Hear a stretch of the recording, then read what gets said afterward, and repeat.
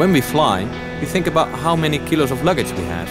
We do this because we know the costs of overweight. But there's another price to pay to the planet. A price in carbon emissions. My name is Gerard van den Berg. I'm a professional expedition leader for my own company, Explore Group. My job means I travel a lot. We don't often think about things already in the aircraft. Things like food trolleys and headsets. Combine their weight, all adds up. Being in remote and challenging environments is part of my life. Pushing myself to the limit is part of my job.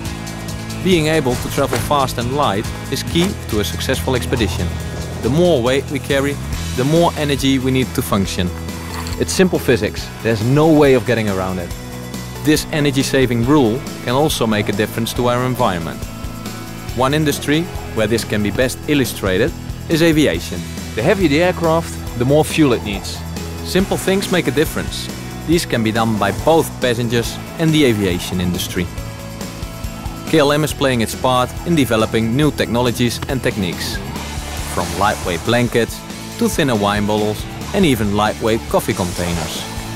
Every kilo you can save times this by thousands of kilometers that we travel annually makes savings of over 30,000 kilos of carbon. Or put another way, every extra kilo we carry uses 12,500 liters of extra fuel each year. Amongst other things, KLM is finding shorter routes and new flyways, reduce their time circling above our cities and taxiing on just one engine. The savings in CO2 emissions are huge. Small savings can make a big difference. Be part of that journey, like me.